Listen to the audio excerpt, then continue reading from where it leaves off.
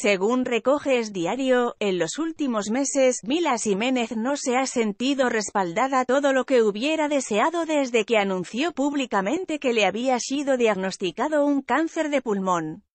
En todo este tiempo han llegado hasta sus oídos críticas y comentarios maledicentes.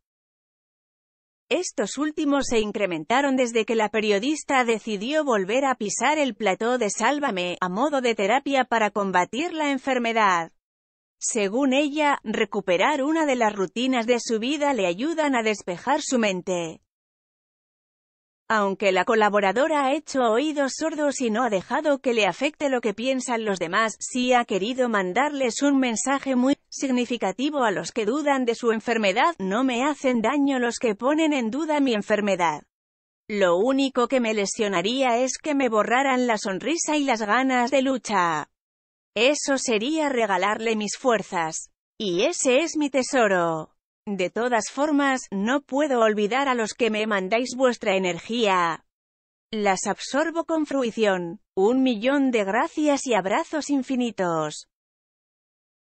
Este ha sido el mensaje que la periodista ha lanzado por su perfil de Instagram, tal vez con el deseo de hacer relapacitar a todos aquellos que no paran de criticar o de poner en duda a Mila por haber vuelto a retomar su vida laboral tras haber estado ausente.